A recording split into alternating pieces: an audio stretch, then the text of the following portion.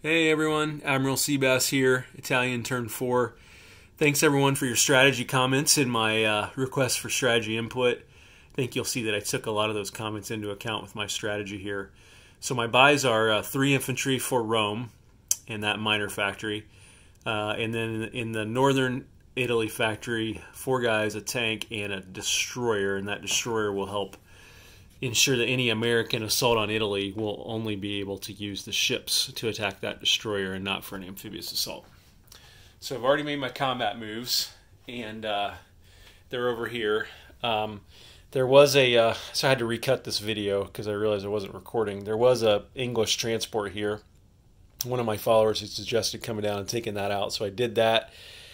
Uh, did the amphibious assault here from Egypt into Transjordan, leaving one guy behind as a blocker and then uh, gonna try to take out that guy in Morocco because if I take him out and I control this territory, this one, this one, this one, and this one, and this one, I get a bonus five dollars. So that'll be nice. Um, so uh, let's go ahead and roll that one. That's a two versus a two. So I'll go ahead and go over here. We will roll that one. Here's the Italian artillery. Miss. French infantry. Oh, miss. Italian artillery hits. Can the French do it? Oh my gosh. Hey, Italy got something. So he is taken out. And take off this target marker. Italy artillery marches in there. Let me get a piece of pie here. And let's see, I thought I bought more Italian pies. Maybe I didn't. I thought I did. Where are they? Uh, hang on. I knew I bought more of those things. Uh, I just hadn't put them in my uh, Italy box yet. So, Morocco is Italy's. So that's up one and down one for the French. And then um, this one here I'm going to set up on the battle board, so I'll be back. Okay, I got a mech, two artillery, and two tanks for the Italians against two artillery and a mech for the British. And uh, there's the mech, two artillery, two tanks, and then here's my cruiser and my battleship. So we're looking for three hits. Got them. Exactly what we needed. I, I, I toyed around with maybe bringing the cruiser in or the battleship up to defend Italy, but I thought, you know what, they're just going to get sunk. I'll keep them for next turn. Uh, maybe, you know, bring them back in to Sea Zone 97. Uh, on the other side, I, you know, who knows? So, um, okay, so British shoot back three at two or less. One hit. I will take that. I think I will lose. Uh, I'll lose the artillery. Okay. So, remove the target marker. Italian pie. Italy up to 20. UK, Europe down to 29. And uh, put these guys back down here. Good idea, whoever suggested that, because now this little force here, um, if that force comes up and takes back Cairo, this force can go take Cairo back. Um, and really, these two guys aren't really going to threaten those two. Um, so uh, I really like that move. Thanks for whoever suggested that in my comments. Um, now my non-combats are going to be pretty simple for Italy. Um, he's going to fly back to Greece.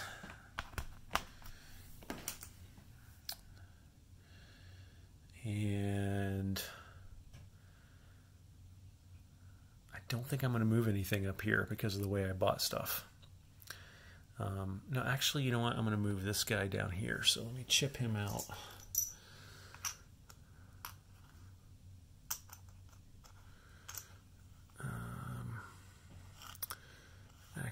Chip that out for a green.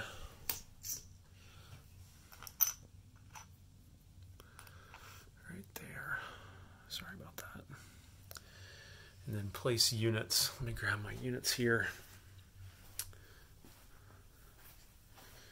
So this destroyer will obviously go here, built by the Northern Italy factory. These three guys will get chipped out for green. It'll go there.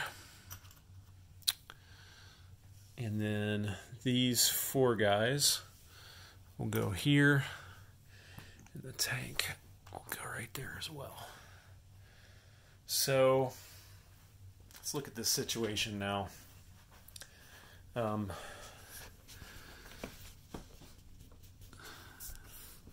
you know, the U.S. can probably try for one of one of the two, um, but Italy will be able to take it back. Is what I think will happen. So Americans will have to make an interesting decision here. Do they commit all this stuff, knowing that the Germans can come down behind them, probably take Gibraltar, and box them into the Med? Um, and so, and they don't have any anything backing up or guarding those transports. So, interesting to see what what uh, the U.S. and Germany, frankly, do next turn. So let's look at our bonuses. Italy's going to collect a base of twenty dollars, and then for the bonuses, they are going to get five IPCs if they control three of the following Gibraltar, Southern France, Greece, or Egypt. They control one, two, three. That's another five, so that's 23. Another five if there's no Allied surface warships in the Med, so that's 28. Five if they control those territories, which they do, that's 33. And then two each for these, which they don't. Plus, they get wartime economy, which is another d6. So 33 plus. Huh, 1 is 34. That's not too bad for Italy. Uh, there's 20, 30, 4. That's one more buck than they had last turn. So, you know, if you're U.S., um, it probably forces you to go for Rome so that they don't get to spend that money next turn. But then you got to think, can you keep it? Um, but maybe it's worth it, you know. Um, might get a ping pong match going here for the next couple of turns between Italy, U.S., and Germany. Because um, if U.S. they go from here to here and take that, Germany can come down and take Gibraltar behind them. Well, let me back up. U.S. goes in, takes this, right? Then maybe they bring all these guys over to here to reinforce, and they build a, a new force here to come over.